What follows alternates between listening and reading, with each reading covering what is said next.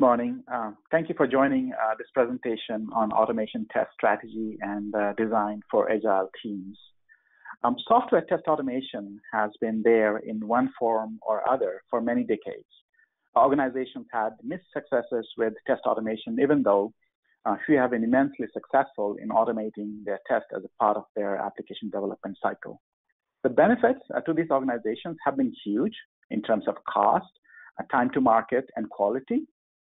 So why is it that many teams are still continuing with uh, their manual test or struggling as they embark on test automation? Can every manual test be automated? How to get started with test automation? What are some of the strategies and best practices as you embark or continue with your test automation journey? So these are some of the questions that I plan to address in my uh, presentation. Hello, everyone. Uh, my name is Sudrati Mondal. I manage uh, technical sales uh, at Testim. Um, I wrote my first test automation script on Windows 3.1 um, using uh, Windows SDK to record keystrokes and mouse clicks and play it back. It wasn't pretty then, but uh, we have come a long way since. Today, there are hundreds of tools, uh, many domain thought leaders uh, with immense expertise, many books written in this area, and of course, a simple Google search is a lot of useful information about myself. I spent the last uh, 12 plus years or so working on a variety of uh, testing tools, including uh, automated functional and performance testing, test modeling, test data management, service virtualization, continuous delivery and continuous testing, and DevOps. So I've gathered some experience along the way, and uh, I want to share some of it with you um, in this presentation. So my presentation will cover four main areas, starting with the basics. Uh, what do I mean by test automation? What are some of the challenges and where to get started? Next, I will cover some strategies and best practices as you implement test automation in your organization. Finally, I will wrap up with a brief overview of how artificial intelligence, machine learning uh, is getting introduced into software testing and autonomous software testing. Um, let's dive into my presentation. So what is test automation? Um, it is a technique to test software without any human intervention. You execute a test that is triggered by an event like completion of a build or by a schedule like a midnight run. The actual test result is then validated against expected test results using assertions or validations. So this reduces testing time by running tests in parallel, including um, um, it reduces time to market and also testing costs.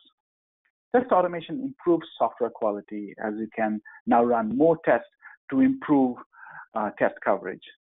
Common misconception that test automation will replace manual testers is not true. Manual testing is still needed for exploratory testing. Not every test uh, can be automated. Test automation lifecycle comprises determining the scope of testing, how you're going to test, the strategy itself, uh, what tool you're going to use, uh, test execution comprising setting up the environment and automating the test run, and then, of course, uh, analyzing the results from your test runs. So we'll cover more on these topics later in this presentation. So what are some of the benefits of test automation? We touched upon it slightly in the last slide. Now, test automation provides an automated safety net before uh, you promote your software from production to production through automated smoke and regression testing. It, it provides faster results back to testers and developers for a quick resolution on issues. Um, you can now test with more data scenarios as uh, it is not manually driven. You now have the flexibility to do risk-based testing, uh, choosing the test uh, you want to run based on risk. Uh, you can free up some of your manual testers to do exploratory testing or other tasks. And you can tie up uh, automated tests with your continuous integration and continuous delivery processes to achieve uh, continuous testing. The biggest benefit of testing automation is, of course, the software quality. Uh, one of my large uh, Fortune 500 credit card customer has achieved zero severity one defect in production for over a year because of the push uh, for test automation a few years ago. What are some of the barriers uh, to test automation and why do some uh, efforts fail? Uh, test automation is interesting. Uh, you write a small piece of code that tests the feature that your fellow developers have worked hard to implement. Um, as you will see, test automation requires software development mindset and follows the same set of practices uh, to be successful. Test automation requires a similar investment and priority as software development. It can start as a pet project, but requires corporate mandate for wider adoption. You also need the right attitude amongst testers and developers. You need some experience with test automation and the right toolset. You need a stable test environment. In addition, software development best practices, including agile best practices, must be followed uh, to be successful. Test automation can be classified in multiple ways. It can be based on type of testing, what you're trying to test, for example, functionality or performance, or uh, type of test being executed, whether it's unit test, smoke test, API, UI, and so on.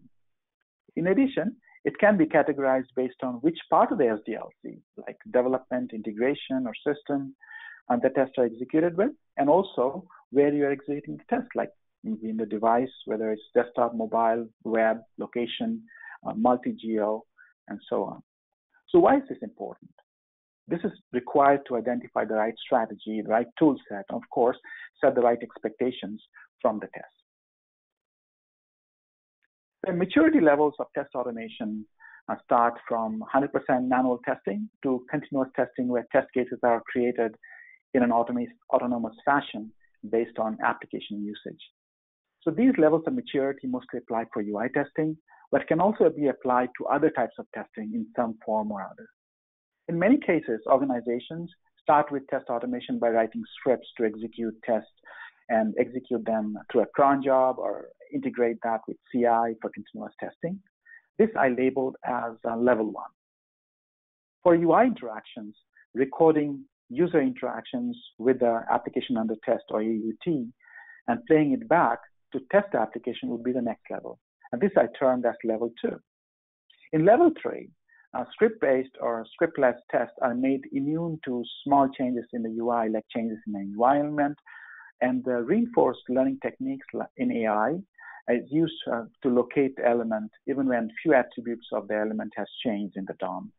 And uh, then you can execute the test without any issues. So this reduces the level of maintenance that is needed uh, for automated UI tests. This is also applicable for pixel level um, validation tools.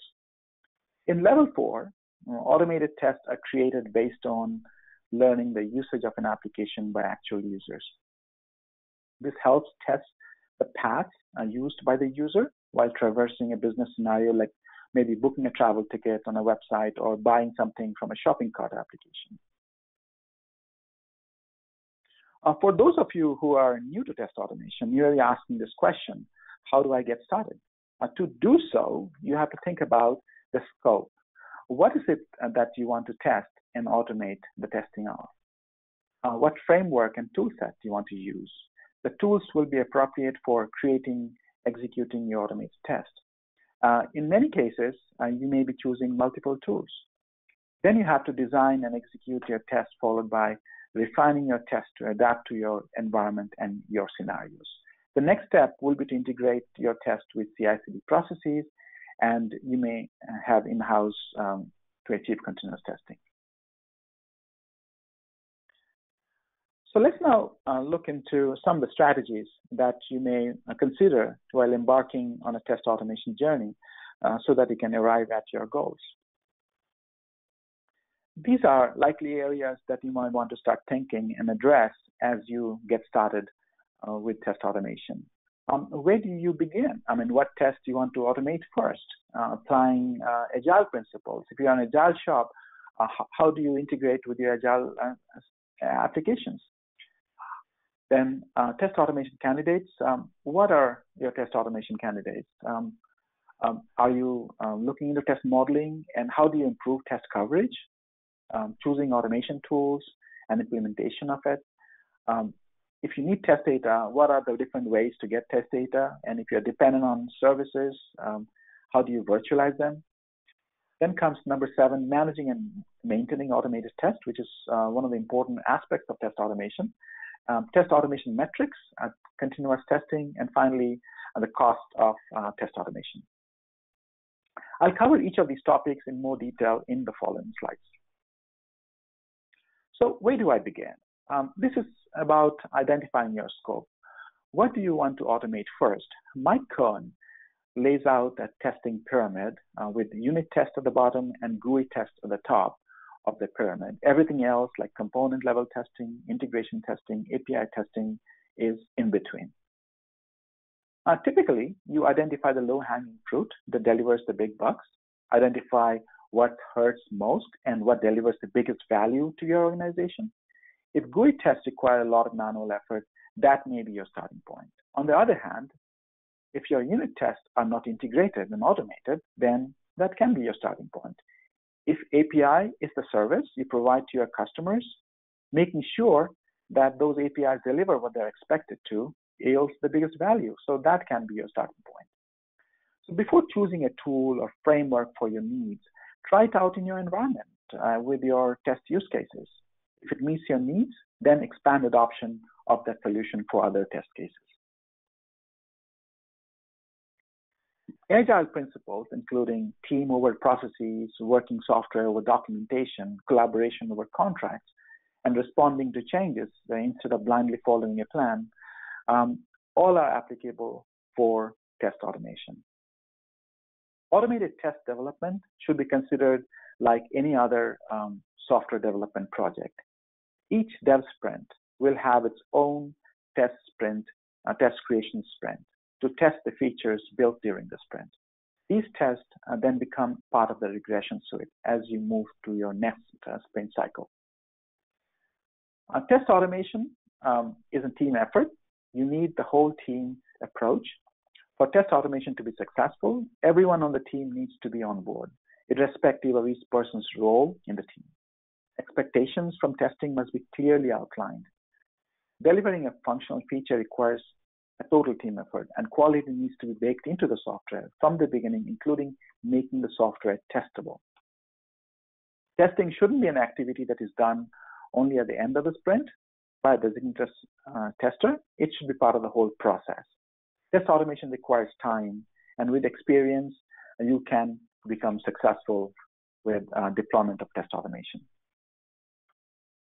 In an agile software development lifecycle, as I mentioned in the previous slide, uh, you will have automated tests for a sprint created um, while sprint development is being done uh, so that you have the test ready to execute towards the end of the sprint. These new tests are added to the regression suite and are executed during or after every sprint. Some or all of the acceptance tests may be executed before code is actually released to production. What are your test automation candidates? The biggest problem I usually see uh, is that teams start off by trying to automate everything. The problem is that not every test can be automated. For test cases to be automated, um, you should look for tests that are deterministic and don't need uh, human interaction. They are hard to test manually and need to run more than once, possibly uh, with different test data sets or on different browsers or for load testing you should consider using automation for your any activity that saves time, and that includes uh, software testing. What tests uh, you should not automate? In general, um, tests that uh, you execute once or applications that are not testable unless you actually use it uh, should not be automated. Exploratory tests uh, or tests that do not uh, provide predictable results are additional examples, but I mean, there can be exception, exceptions for different scenarios. Um, let's look into test modeling and test coverage. Test model um, um, can be built in three ways. Event-based model, which is um, based on GUI events that occur at least once. State-based model based on GUI states exercised at least once. And domain model, which is uh, based on functionality of the application. In model-based test automation, you create a model of your application and specify the inputs uh, to the application. You identify the list of paths that needs testing. This can depend on the business scenario, events, or states that you're trying to test.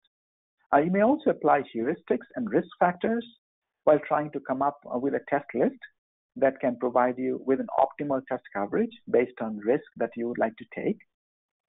And uh, next, you execute the test and evaluate results. So there are um, test automation solutions that provide you with test automation scripts and fit for purpose test data to optimize your test and test data coverages. So how can test modeling help? Uh, software testing based on a model improves test coverage without increasing over-testing. And over-testing uh, is a huge problem I've seen across a number of different organizations. I've worked with a, a company who are able to reduce their over-testing from 1700% to around 300. And you will need some amount of over-testing. Say, for example, uh, you're trying to test a functionality, a feature of an application, you need to log in, you'll have to log in multiple times. But 1700% is, is a waste of resource, it's a waste of time. And uh, this company was also able to increase test coverage from around uh, 40% to 100% uh, using model-based testing. The next uh, is around um, tool selection. So tool selection process involves understanding your requirements and key criteria in your decision-making process. If you already have some type of test automation tool in-house, consider that as a baseline. You may leverage a Pugh matrix technique for analysis to make your decision. And if you are an agile development shop, it is always wise to pick an agile friendly tool. An example will be to choose a tool that ties test cases and test results back to um, user stories and requirements in your agile management tool. As for implementation of test automation goes, um, you have the option to go code based or codeless. Uh, this will help, uh, this will depend on who is actually um, using the tool. So test engineers will prefer code-based or a hybrid solution, whereas manual testers will prefer a codeless solution. Your choice of tools will also depend on your test execution environment. Not every test automation solution supports every environment, like I mentioned earlier, uh, mobile, uh, web, or um, the cloud, and so on. Test data is an important aspect of testing. In many cases, it derives testing as in data-driven testing. And before you start testing, you need to understand uh, what your test data requirements are. Test data coverage is an important uh, as uh, test coverage itself. Testing teams typically derive test data from uh, production databases through subset masking. The test data is then made available in a database uh, as a gold copy uh, from where test data is provisioned to individual teams for testing. Now, test data may get burned after testing, and when that happens, you just have to reprovision the test data from your gold copy. Now, test data from production isn't the only source of test data. To reduce reliance on production data for security reasons like GDPR um, or for time reasons, because I've seen customers require a month or 30 days notice to get test data from production. Uh, in that, those cases, and also to improve test coverage, uh, companies rely on synthetic test data generation. A leading um, sneaker company in the US is a great example who actually uh, is uh, uh, generating all of their test data using synthetic test data generation. And it's done by uh, creating the model of your test data needs, and then you make it fit for purpose for your test cases. So test cases receive just the data uh, that you need um, for testing that particular test case. In addition, some of the advanced test data management tools also have uh, the uh, provision to reserve test data so that you're not uh, running into each other's data when you're testing multiple things at the same time. Uh, TDM, test data management tools uh, from CA, Informatica, IBM, and others provide different sets of capabilities around creating test data. And there are also some open source tools like Faker that allows you to create synthetic test data. Now, today's applications are no longer monolithic, meaning uh, they have to rely on various other components and applications that have their own SDLC timelines. And when your application or component relies on other components, and these components are unavailable, or they are they are they, they are charged, you virtualize these interfaces or components with uh, what we call um, service virtualization. This is very similar to mocking and stubbing, uh, and this can be done for APIs, databases, uh, websites, um, and so on. Variety of tools are available in the space, including tools from uh, Computer Associates or Broadcom, Parasoft, Delphix, Uh, Delphix is focused on database virtualization, uh, Tricentis, and others. A large US bank was able to cut down millions um, from its data center infrastructure spend by using virtual interfaces during service virtualization for its performance testing tool. They didn't have to set up uh, elaborate performance testing environment. All the dependent interfaces were virtualized using service virtualization, and uh, they were able to conduct uh, uh um, their test, uh, performance test.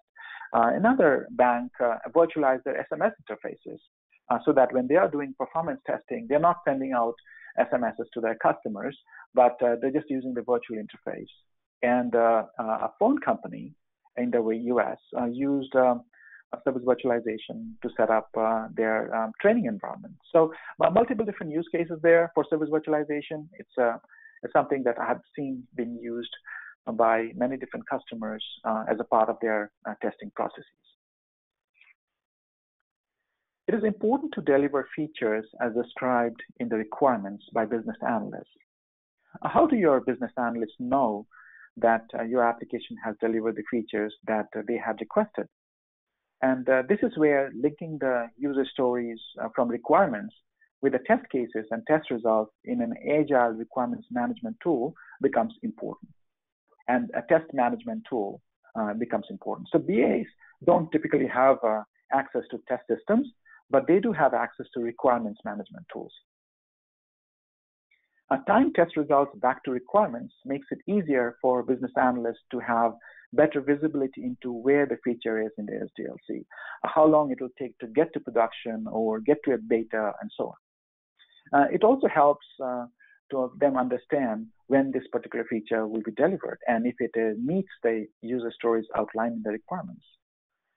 And, and that's why it is important to uh, choose a test automation solution that actually integrates uh, with your requirements tool. Now, test maintenance is uh, one of the biggest challenges with test engineers encounter when they uh, do test automation, especially for applications uh, with the UI. Minor changes in the UI break most automated tests. Advanced uh, testing automation frameworks like uh, allows you to create automated tests that reduce test maintenance.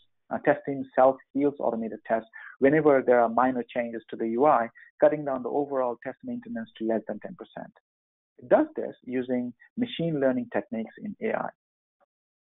You can also reduce test maintenance by modularizing your test and by using some of the best practices that we will cover later in this presentation. Software test metrics uh, can be used to measure and monitor your team's progress with test automation.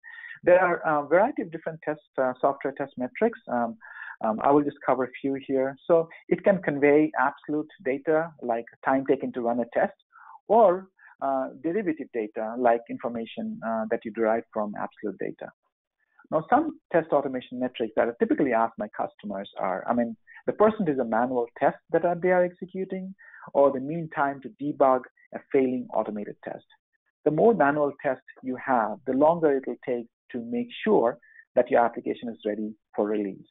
And a high MTD or uh, uh, mean time to debug uh, an automated test is an indicator that uh, your automated test code is not of high quality. Bugs uh, that are found by automation can be helpful to determine if your test automation efforts are bringing value. And then test automation flakiness, meaning that your automated test runs successfully sometimes and other times it doesn't run successfully, and that should be zero because this is a good indicator to know if your automation tests are reliable or not. One of the main reasons for test automation is to be able to achieve um, continuous testing. As you implement continuous integration uh, through Jenkins, CircleCI, or TeamCity or other tools, the next step is the ability to execute your test every time you have a new build. And Test automation helps you achieve that. Uh, most test automation tools have a way to execute their test using uh, CLI. And all you have to do uh, is uh, tie that CLI into your Jenkins uh, so that every time you check in your code and Jenkins starts a build and completes the build successfully, your smoke test uh, gets executed or other tests can get executed. In the same fashion, you can also integrate automated tests with your continuous delivery and continuous release tools to integrate testing into your entire software development lifecycle pipeline, enabling uh, you to do continuous testing as you promote builds from one environment to another and ultimately to uh, your production. Uh, test automation is the enabler for continuous testing. You can achieve uh, continuous testing for both functional and non-functional tests, including uh, component level performance tests. Um, determining the ROI of your test automation efforts, uh, this can be tricky. Uh, common calculation that some folks use to get a rough estimate of their test automation costs are basically um, your tool cost plus labor cost to create an automated test, uh, test maintenance plus the test maintenance cost. So if uh, cost of automating the tests um, running the test manually is more than um, automation cost, then it makes sense to automate the cost. Uh, so it makes sense to automate the test. Um, uh, but it is just based on the cost. Um, this can help you decide whether um, a test case is even worth automating as opposed to testing it manually from a cost perspective. But there can be other factors because the benefits like time savings, ability to run with broader data sets, improve quality uh, should also be factored in. And ROI quickly adds up with each uh, rerun of your automated test suite. So now that we went through some of the test automation strategy considerations, let's look into some of the best practices for test design. Um, I haven't seen any questions so far, but if you have any questions uh, regarding the previous section, uh, please uh, feel free to add them in the chat window, and uh, I will try to answer them uh, during towards the end of the presentation.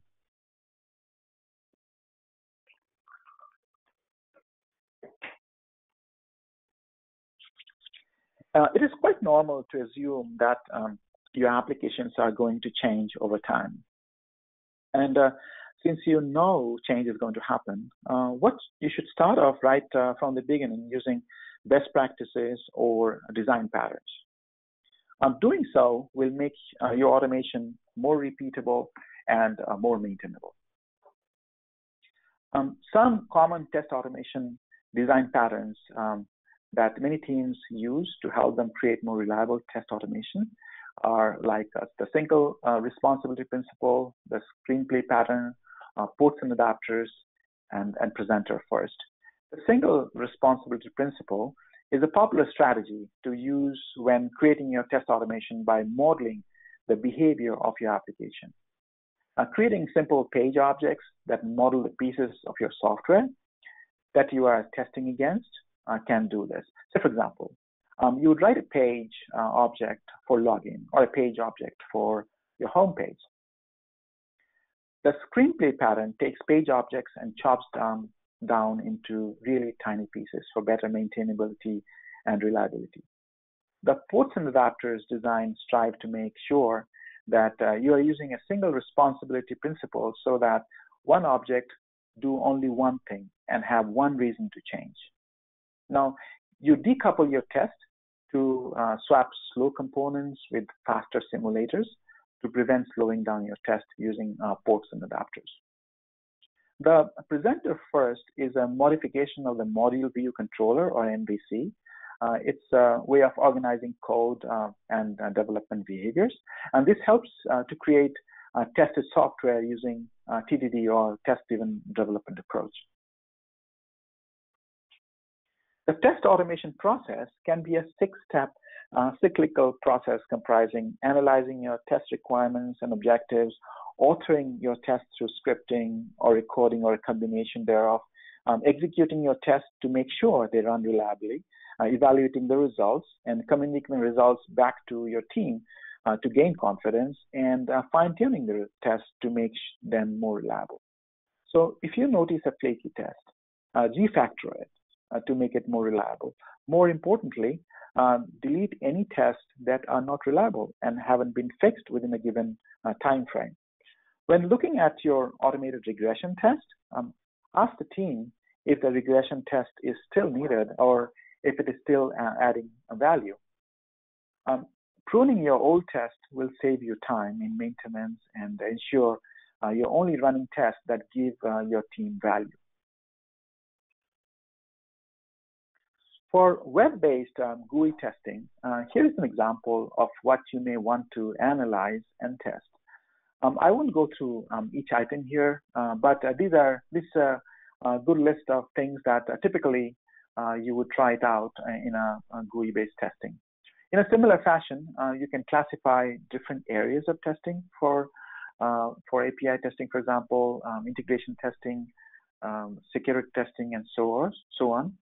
Um, you analyze uh, your needs and then uh, start implementing your test based on the objectives that I mentioned in, in the previous slide. Let's now look into uh, some of the test uh, automation uh, best practices. So what are some of them? I mean, there are many. Um, you cannot automate every test in one shot. You have to prioritize them and uh, pick the low-hanging fruit that is quickly and easily uh, implemented uh, using the test solution that you have decided to use.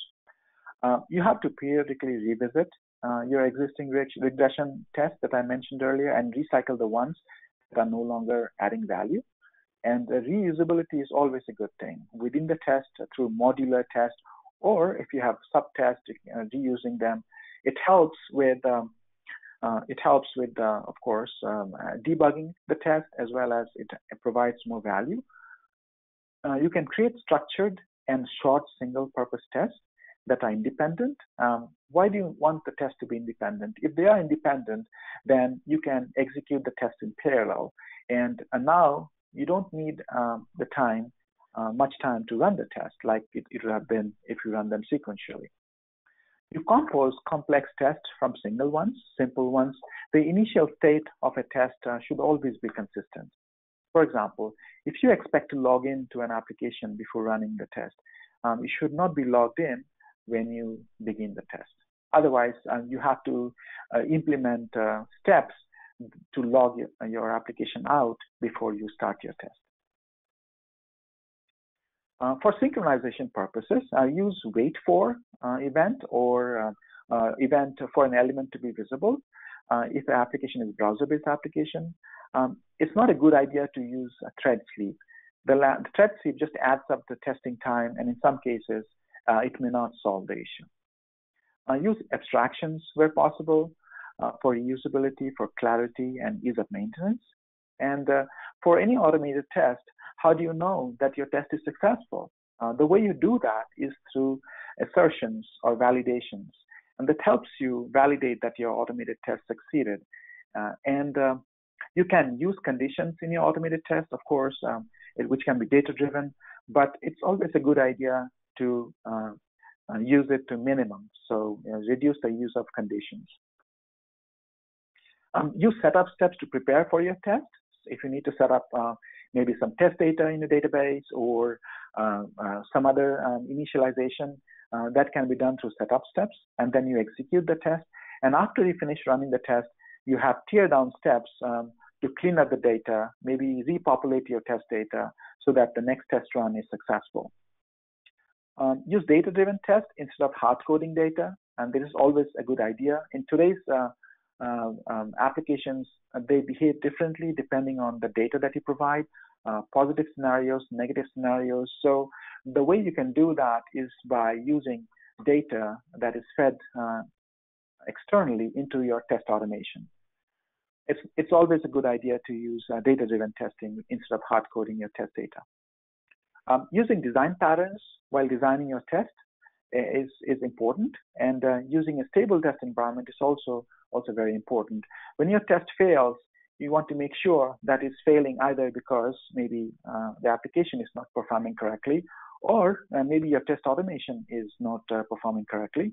Uh, you don't want to add another variable where your test environment is flaky. And uh, for this purpose, it is important to have um, independent test environment, whether it is uh, uh, physical, virtual, uh, to run your test.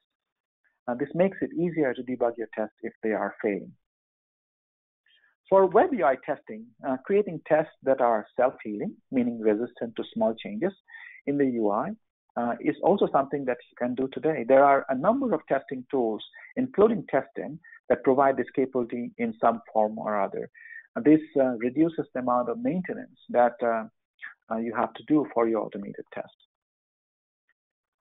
Following a naming convention to name your test that is aligned with the naming convention that you follow for your source code and development, it makes it easier to identify and locate your test and also associate with uh, the appropriate um, source counterpart. Most frameworks take snapshot, in some cases, uh, um, videos of your test runs, and uh, this helps with debugging. Uh, they also provide reporting capabilities that provides uh, you the status of your test, the health of your test, and um, also the state of your test automation efforts.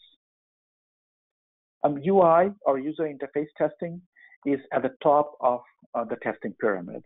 Just testing the user interface isn't enough. Uh, unit test, integration test, and other tests must be done in conjunction with UI tests to improve quality of your software and be successful with your uh, test automation efforts. Um, as you continue uh, with your test automation efforts, you will learn you, you and have your own best practices for your organization, for your applications. And it is important to capture that knowledge, share that knowledge, and use it uh, across uh, your organization. Um, Joe Colantonio is a renowned uh, domain expert in, in the testing space.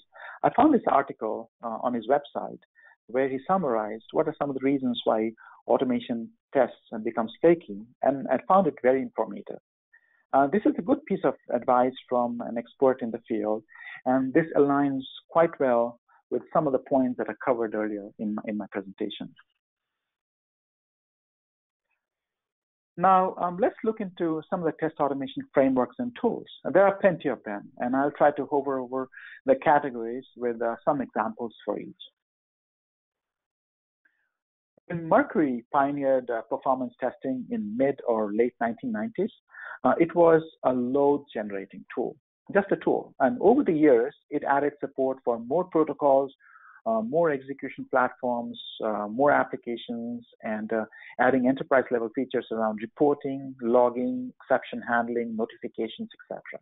Um, later, LoadRunner uh, was tightly integrated with HP's uh, Unified Functional Test or QTP, um, Application Lifecycle Management or ALM, and the architecture was enhanced to support modern day applications on the internet with uh, millions of virtual users connecting from all over the world uh, to do performance testing. Uh, it provided authoring and execution environment, including libraries for integration with other applications, and a UI uh, to create the automated test easily. And that is what I mean by test automation framework. Uh, it is the scaffolding that is laid to provide an execution environment for your automation test scripts. The framework provides the user with uh, various benefits that help them to develop, execute, and report the automation test uh, scripts and test runs. It is more like a system that is created specifically to automate your tests. So test automation framework um, is a combination of uh, set protocols, rules, standards, and guidelines that can be used as a whole to leverage the benefits of the scaffolding provided by the framework when implementing test automation. The advantages of test automation frameworks can be in different forms, like um, uh, ease of scripting or, or, recording when you create a test, um, scalability, um, modularity, um, clarity, uh, process definition, um, reusability, and of course, um, uh, cost and maintenance as well. thus, uh, to be able to grab these benefits, developers and testers are advised to use one or more test automation framework that fits your needs. But uh, when you have many developers uh, working on different modules of the same application, you may consider a single test automation framework to avoid situations where each developer implements or tester implements his or her uh, own approach towards um, automation. So here I've also listed uh, some open source options and few vendor source test automation frameworks that um, uh, you can look at uh, if you um, are interested. So how do I pick a test automation tool or a test automation framework? There is no correct test tool for automating uh, testing. Ultimately, it all depends on your team's unique needs and skill set. I've always uh, recommended uh, that uh, you run a two-week uh, proof of concept POC uh, for each tool that you're considering, um, and review your team's feedback because they are the ones who will be using the solution and uh, adopting the solution. Uh, find out if the tool has an active user base um, outside your organization and select tools that other companies are using. So determine how easy uh, it is uh, to hire folks as well, because if you need to hire new folks, uh, you need the skills um, to use the tools that you are planning to adopt. Um, review product roadmap and make sure that uh, the tools that you select will handle uh, future features and technologies that uh, you have in mind, you have in your roadmap. And finally, you evaluate cost, not only the initial cost of deployment, but also uh, maintenance um, and subscription costs uh, as appropriate. On the right, I have um, uh, listed some categories of tools that you may consider to implement test um, automation in your organization, including uh, test management tools, uh, cross-browser testing, automated testing, web UI, mobile UI, load testing, and a number of additional tools that you would need to support your testing needs. Uh, in addition, you have uh, uh, continuous integration and continuous delivery tools that you also need to look into uh, if you are planning to implement continuous testing. So in this and the next slide, I've provided some examples of tools that falls into the categories that I mentioned in the previous slide. Um, this slide covers um, test management, uh, automated testing, uh, cross-browser testing, load testing, and uh, and then of course this particular slide uh, covers uh, some of the other categories. And uh, I apologize if your favorite tool isn't on on these slides. there are so many, and I haven't used them all. this list is based on my use of some of the tools firsthand, reviews and recommendations from customers and colleagues, and also um, recommendations from thought leaders in the industry in this area. I haven't covered a uh, few categories of tools like uh, service virtualization, test data management, uh, which I did uh, mention earlier uh, in the presentation. But um, uh, service virtualization, of course, CA has a solution. Parasoft, Tricentis, they have solutions for service virtualization. And of course, there are some open source like Mock Mocker, Fager. And, and, and for test data management, um, CA and IBM, Tri, uh, Tricentis, as well as uh, Informatica have solutions around those areas. A simple Google search will also provide you with a list of tools in each of these categories.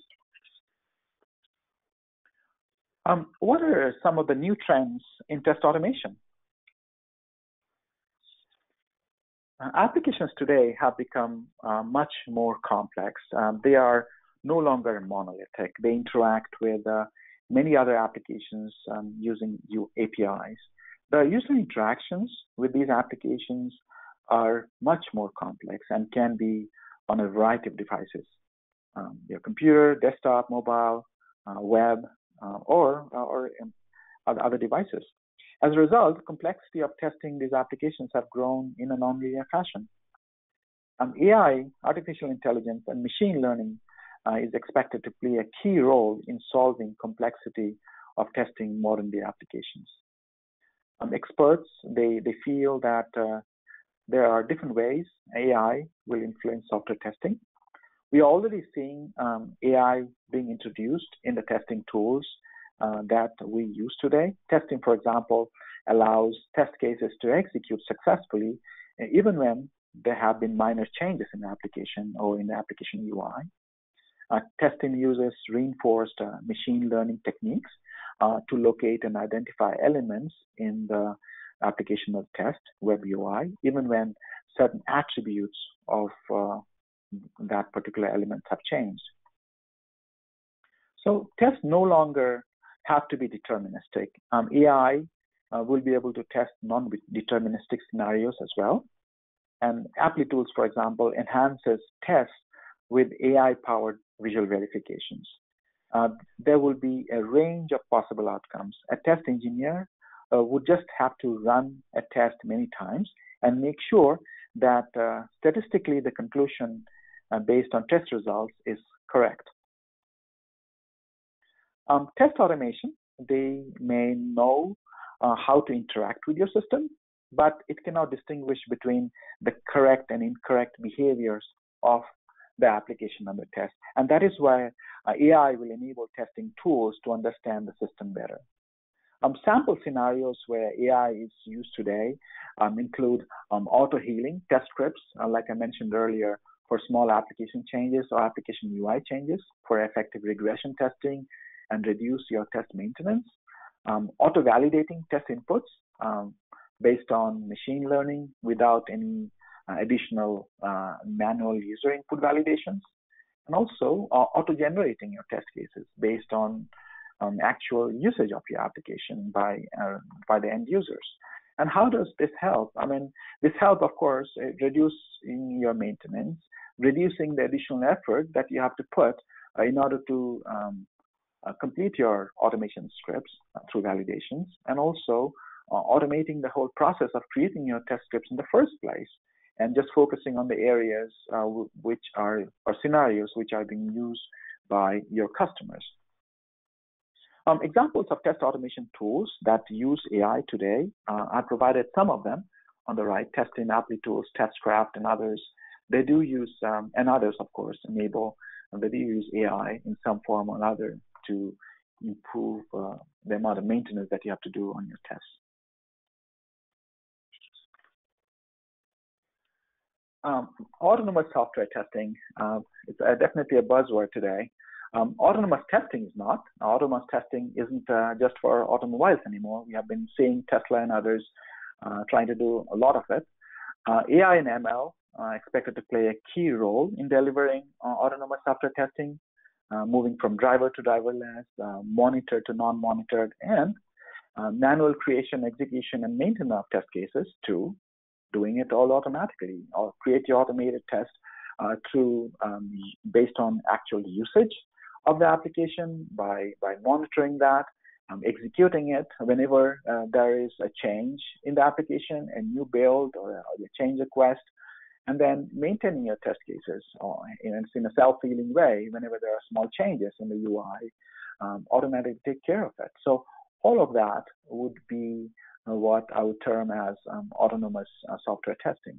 So AI-based learning from failures is also uh, uh, helping and will help like on how you run your new test uh, or how you create your new test and even when certain situations have changed.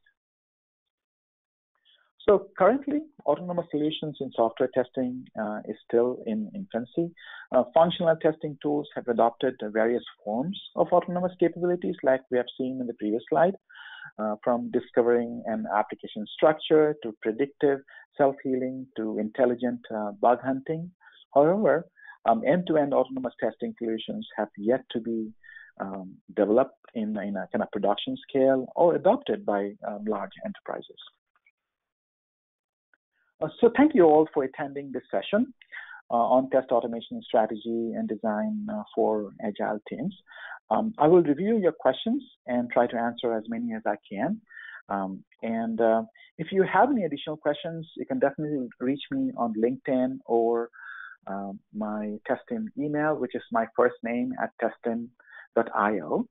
Um, let me look into, um, or uh, any unanswered questions, uh, I will uh, try to respond to that through emails after the sessions. Let me now look into um, some of the questions that you have. I see a question there. how do you determine test tool cost. Um, um, test tool cost uh, will depend on the type of tool that you are trying to use. Say, for example, uh, if you if you um, uh, use Testim, uh, it is a SaaS-based solution, so uh, it's a subscription-based um, solution. So you would have to pay a subscription fee for a certain amount of time uh, to use the solution, and then different subscriptions have different um, kind of measures. Um, for Testim, it's based on number of test runs. Um, other tools may have uh, other measures. But then packaged software would be you buy the software, there's upfront cost, and then there is a maintenance cost per year to get newer versions and so on. I hope that answers your question. Um, how to automate user experience testing? Yes, and this is definitely uh, uh, very, very interesting question. I was actually talking to a customer last week uh, who are building solutions uh, to uh, do user experience testing. And typically, um, um, user experience and how long your customer or the user is on the website goes hand in hand. Is it is it executing the scenario? Does it the customer path, the path that the customer is taking, is that following a scenario? And if it does, uh, is the customer actually going to the end of the scenario? And that's that's something that uh, can definitely measure uh, whether uh, the customer is actually getting what is looking for, uh, whether it's a document, whether it's buying something, maybe the customer has completed a sale, or maybe the customer did some search and couldn't find the stuff and now went to some other website. Um, those are some of the things, and of course, reviews. Um, um, reviews on other websites for mobile applications. So there are reviews. Those um, kind of uh, ways to measure user experience testing. How to automate GUI layout testing, which is very subjective depending on different end users. Um, this is true. Um, now, layout would depend on the application as well. Uh, for mobile, it's different. Um, and for web, of course, there is different. There is always some type of standard uh, people, and there are other standards for GUI layout as well. Um, and you have to look into uh, into that, uh, and also it will depend on what exactly uh, uh, your business is and so on. Um, another question here is, uh, are there any open source tools for AI and ML automation that is well known? Um, there, there possibly are, uh, but I don't, uh, I can't remember off the top of my mind. Uh, I would do the same thing that you would, probably do a Google search and uh, and find that information. Um, any open source tool, mean, validate web UI, uh, kind of related to the previous question. I don't know, but you are uh, you are more than welcome to try out Testim, and I'm sure some of our competitors also provide trials that you can use to try out. I mean, there's nothing wrong with trying it out to see how AIML works. You make a change. So with Testim, you just have to open up a trial and you have access to all of it, all of the AIML functionality.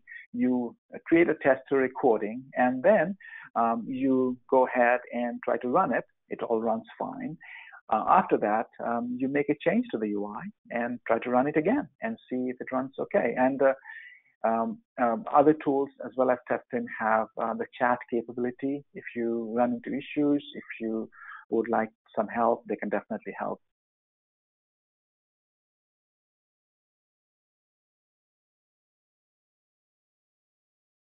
Uh, there is a general question. Uh, we always find it difficult to find the right test data, and uh, many times we had to cancel the testing. Uh, this is because of many factors such as no access to prod data, not able to mock data, not able to scrub data. How do you handle such situations?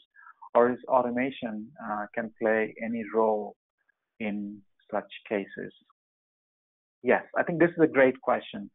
Um, this is a great question also for another reason, because test data is important. Just uh, a couple of days ago, or yesterday, I think, we have seen how Capital One got hacked, and a few years ago, we have seen how Target got hacked. And in Target's case, it was their test environment that was exposed. Uh, test environments should not be using PII or personally identifiable data. Um, they should be using um, mask data or data that does not have any PII information. Uh, regulations um, like GDPR, uh, General Data Protection Regulation uh, in Europe, or new regulations that are coming up in the state of California or in the US uh, prevent you from using PII data. So uh, when you create your test data from prod, um, even though I mean uh, you don't have any other access, and and, and the data is not mockable, uh, then that's a big challenge. So how do you solve the problem? You solve the problem using synthetic test data generation. And what is synthetic test data generation? It is an approach that many customers are using to create test data synthetically. You model your test data. Say, for example, you have a customer table. You create the customer uh, table model inside your test generation tool. You provide some um, uh, sample data Uh, and uh, based on the sample data and this data set, it can be region specific, it can be gender specific, it can be a particular customer segment specific that is taken to randomly draw data from those lists, sample lists, and create your synthetic test data. And that's how many customers uh, are producing test data and um, generating and testing uh, their um, solutions. Um, there are multiple different solutions uh, that does this. Uh, one is, of course, um, CA Test Data Management Solution, IBM Optim, uh, Informatica, and then there are also open source solutions uh, in GitHub uh, like Faker that does that. Um, another question, want to know more about handling change requirements in agile world? Um, yes, this is important. And uh, how do you how do you manage that? One of the agile principles says that um, you, you, expect you should expect changing requirements as long as uh, the changes are not too big. Uh, you try to incorporate that in the sprint. If the changes are big, then you don't want to derail your sprint. You want to continue to finish your sprint and uh, maybe address that changing requirements in the next sprint. Um, another question, how to automate GUI layout testing, which is very subjective depending on different end users. Um, I think I have covered that. Um, excellent. Um, I see there are no other questions, so I would like to thank you for your time. Thank you for taking the time to attend my sessions. Uh, if you'd like to contact me, you have my email address. I've mentioned that earlier. You can also reach me on LinkedIn. Thank you very much. Bye bye.